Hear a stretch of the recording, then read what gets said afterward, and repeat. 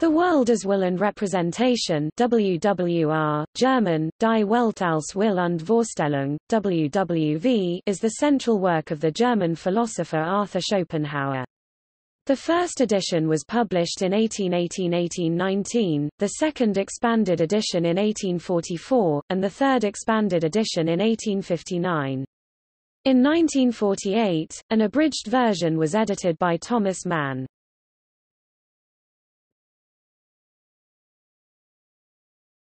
Topic: English translations. In the English language, this work is known under three different titles. Although English publications about Schopenhauer played a role in the recognition of his fame as a philosopher in later life 1851 until his death in 1860, and a three-volume translation by R. B. Haldane and J. Kemp, titled The World as Will and Idea, appeared already in 1883–1886, the first English translation of the expanded edition of this work under this title The World as Will and Representation appeared by E. F. J. Payne who also translated several other works of Schopenhauer as late as in 1958 paperback editions in 1966 and 1969. A later English translation by Richard E. Aquila in collaboration with David Carus is titled The World as Will and Presentation 2008. Present-day translator Richard Aquila argues that the reader will not grasp the details of the philosophy of Schopenhauer properly without this new title. The world as will and presentation. According to him, idea, representation, and presentation are all acceptable renderings of the word Vorstellung, but it is the notion of a performance or a theatrical presentation that is key in his interpretation. The world that we perceive is a presentation of objects in the theatre of our own mind, the observers, the subject, each craft the show with their own stage managers, stagehands, sets, lighting, code of dress, pay scale, etc. The other aspect of the world, the will, or thing in itself, which is not perceivable as a presentation, exists outside time, space, and causality. Aquila claims to make these distinctions as linguistically precise as possible.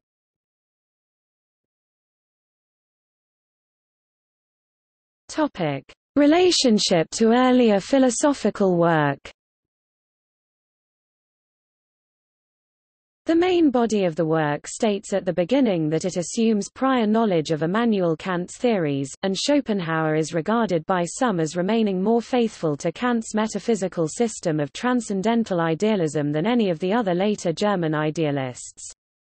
However, the book contains an appendix entitled Critique of the Kantian Philosophy, in which Schopenhauer rejects most of Kant's ethics and significant parts of his epistemology and aesthetics. Schopenhauer demands that the introduction be read before the book itself, although it is not fully contained in this book but appeared earlier under the title on the fourfold root of the principle of sufficient reason. He also states in his introduction that the reader will be at his best prepared to understand his theories if he has lingered in the school of Plato or he is already familiar with Indian philosophy. Schopenhauer believed that Kant had ignored inner experience, as intuited through the will, which was the most important form of experience. Schopenhauer saw the human will as our one window to the world behind the representation, the Kantian thing in itself. He believed, therefore, that we could gain knowledge about the thing in itself, something Kant said was impossible, since the rest of the relationship between representation and thing in itself could be understood by analogy to the relationship between human will and human body. According to Schopenhauer, the entire world is the representation of a single will, of which our individual wills are phenomena. In this way, Schopenhauer's metaphysics go beyond the limits that Kant had set, but do not go so far as the rationalist system builders who preceded Kant. Other important differences are Schopenhauer's rejection of 11 of Kant's 12 categories, arguing that only causality was important. Matter and causality were both seen as a union of time and space and thus being equal to each other. Schopenhauer frequently acknowledges drawing on Plato in the development of his theories and, particularly in the context of aesthetics, speaks of the Platonic forms as existing on an intermediate ontological level between the representation and the will.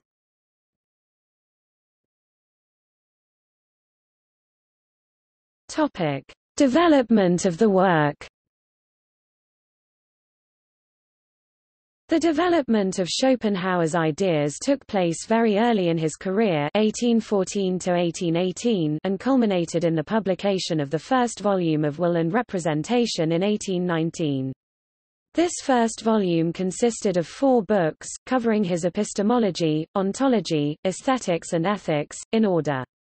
Much later in his life, in 1844, Schopenhauer published a second edition in two volumes, the first a virtual reprint of the original, and the second a new work consisting of clarifications to and additional reflections on the first. His views had not changed substantially. His belated fame after 1851 stimulated renewed interest in his seminal work, and led to a third and final edition with 136 more pages in 1859, one year before his death. In the preface to the latter, Schopenhauer noted, If I also have at last arrived, and have the satisfaction at the end of my life of seeing the beginning of my influence, it is with the hope that, according to an old rule, it will last longer in proportion to the lateness of its beginning.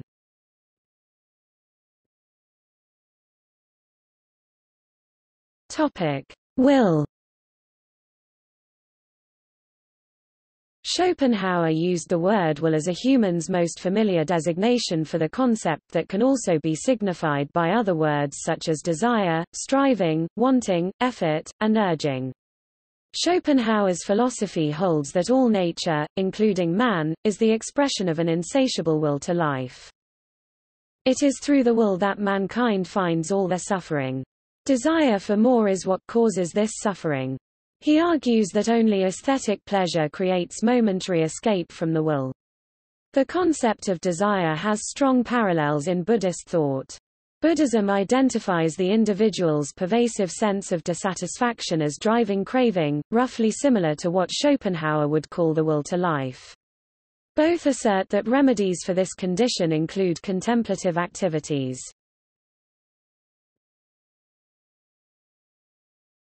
Topic: Epistemology Book 1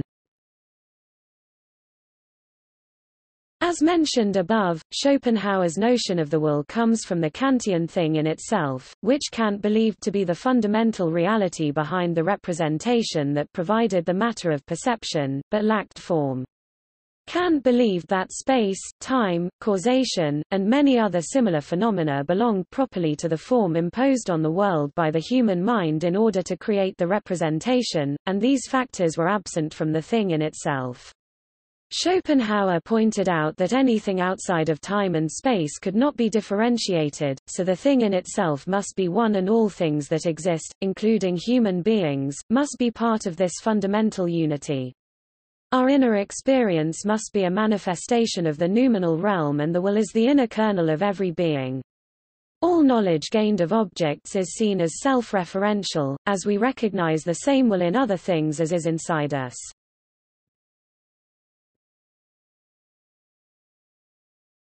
Topic: Ontology, Book 2. In Book 2, electricity and gravity are described as fundamental forces of the will. Knowledge is something that was invented to serve the will and is present in both human and non-human animals. It is subordinate to the demands of the will for all animals and most humans. The fundamental nature of the universe and everything in it is seen as this will. Schopenhauer presents a pessimistic picture on which unfulfilled desires are painful, and pleasure is merely the sensation experienced at the instant one such pain is removed. However, most desires are never fulfilled, and those that are fulfilled are instantly replaced by more unfulfilled ones.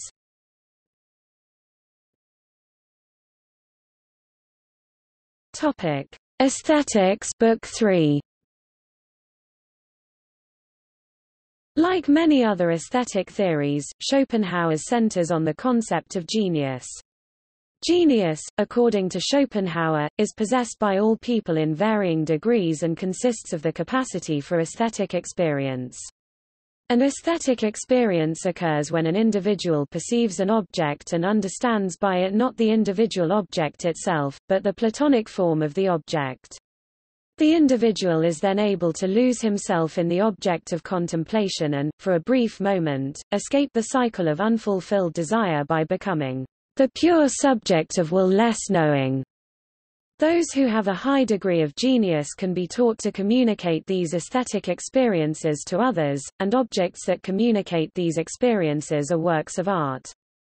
Based on this theory, Schopenhauer viewed Dutch still life as the best type of painting, because it was able to help viewers see beauty in ordinary, everyday objects. However, he sharply criticized depictions of nude women and prepared food, as these stimulate desire and thus hinder the viewer from the aesthetic experience and becoming the pure subject of will less knowing.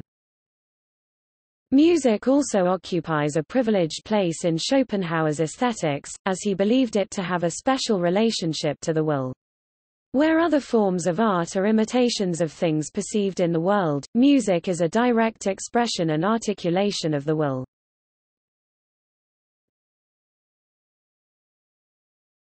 Topic: Ethics Book 4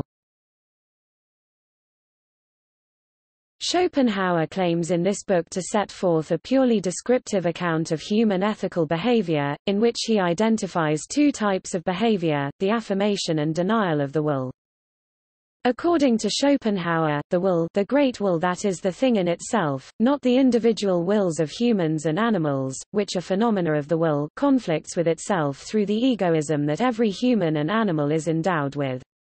Compassion arises from a transcendence of this egoism the penetration of the illusory perception of individuality, so that one can empathize with the suffering of another and can serve as a clue to the possibility of going beyond desire and the will. Schopenhauer categorically denies the existence of the freedom of the will in the conventional sense, and only adumbrates how the will can be released or negated, but is not subject to change, and serves as the root of the chain of causal determinism. His praise for asceticism led him to think highly of Buddhism and Vedanta Hinduism, as well as some monastic orders and ascetic practices found in Catholicism. He expressed contempt for Protestantism, Judaism, and Islam, which he saw as optimistic, devoid of metaphysics and cruel to non-human animals. According to Schopenhauer, the deep truth of the matter is that in cases of the overaffirmation of the will, that is, cases where one individual exerts his will not only for its own fulfillment but for the improper domination of others, he is unaware that he is really identical with the person he is harming, so that the will in fact constantly harms itself, and justice is done in the moment in which the crime is committed, since the same metaphysical individual is both the perpetrator and the victim. Schopenhauer discusses suicide at length, noting that it does not actually destroy the will or any part of it in any substantial way, since death is merely the end of one particular phenomenon of the will, which is subsequently rearranged. By asceticism, the ultimate denial of the will, one can slowly weaken the individual will in a way that is far more significant than violent suicide, which is, in fact, in some sense an affirmation of the will.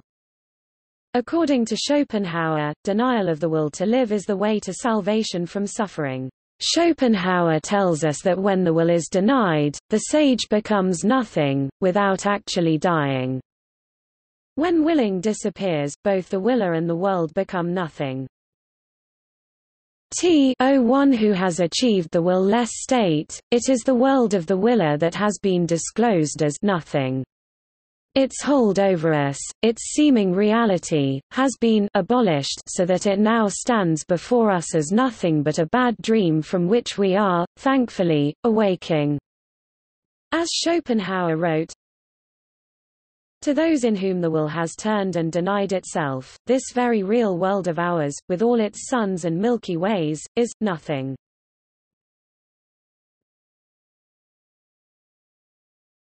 Topic. Criticism of the Kantian philosophy appendix. At the end of Book 4, Schopenhauer appended a thorough discussion of the merits and faults of Kant's philosophy. Schopenhauer's critique of the Kantian philosophy asserted that Kant's greatest error was the failure to distinguish between perceptual, intuitive knowledge, or insight and conceptual, discursive knowledge, or investigative thinking. One of Kant's greatest contributions, according to Schopenhauer, was the distinction of the phenomenon from the thing in itself.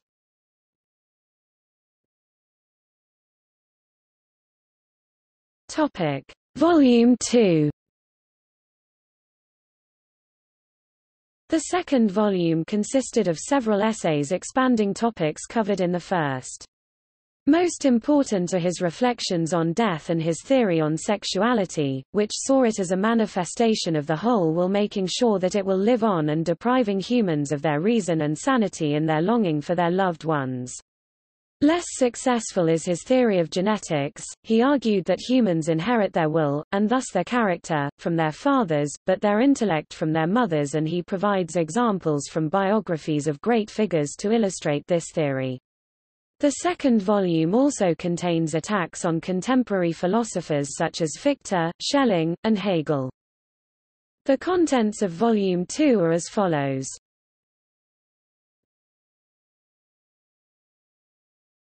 Topic: Influence.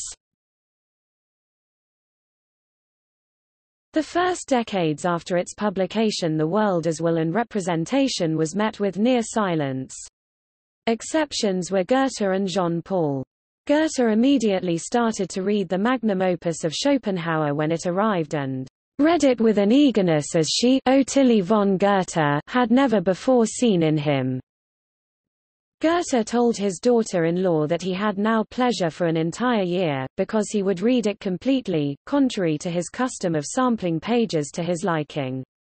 The influence of Schopenhauer can be read in Gespräch mit Goethe and Urworte. Orphisch.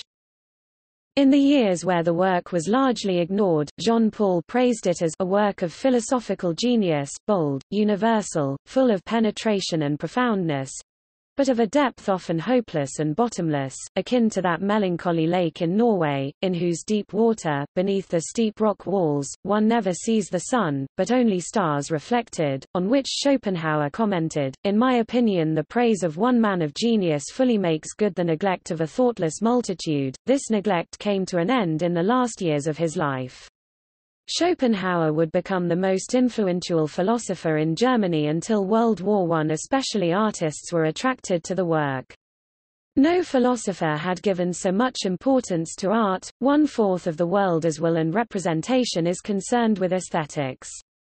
To be mentioned are Wagner influence of Schopenhauer on Tristan und Isolde, Schönberg, Mahler, who cites the world as will and representation as the most profound writing on music he had ever encountered, Thomas Mann, Hermann Hesse, Jorge Luis Borges, Tolstoy, D. H. Lawrence and Samuel Beckett. The philosophers Friedrich Nietzsche and Philip Mainländer both described the discovery of the world as will and representation as a revelation. Nietzsche commented, I belong to those readers of Schopenhauer who know perfectly well, after they have turned the first page, that they will read all the others, and listen to every word that he has spoken. Charles Darwin quoted the world as will and representation in The Descent of Man. Some read ideas in it that can be found in the theory of evolution, for example, that sexual instinct is a tool of nature to ensure the quality of the offspring and that intellect is a mere means to preserve life. Schopenhauer argued in favor of transformism by pointing to one of the most important and familiar evidences of the truth of the theory of descent, the homologies in the inner structure of all the vertebrates. Schopenhauer's ideas on the unconscious can be found in psychoanalysis and the works of Sigmund Freud and Carl Jung. Whereas Jung acknowledged Schopenhauer's influence, Freud denied to have read Schopenhauer until late in life, a claim which is considered to be doubtful. Schopenhauer's discussions of language and ethics were a major influence on Ludwig Wittgenstein. Schopenhauer's views on the independence of spatially separated systems, the Principium Individuationis, influenced Einstein, who called him a genius. Schrödinger put the Schopenhauerian label on a folder of papers in his files collection of thoughts on the physical principium individuationis.